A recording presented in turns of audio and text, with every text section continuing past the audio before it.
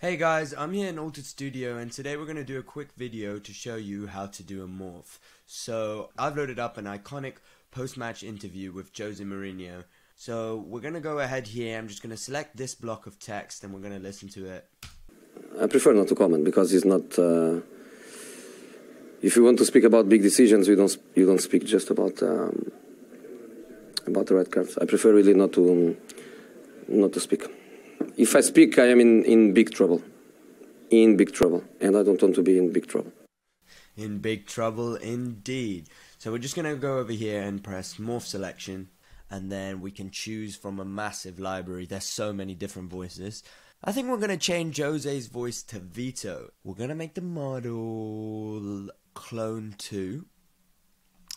I'm going to change the target prosody to match Vito's performance more than Jose's. So maybe make it 60%. And I'm going to synthesize that. But whilst it's doing that, I'm also just going to do another one to check it out on Flexi and a target prosody of 40 and also a target prosody of 70.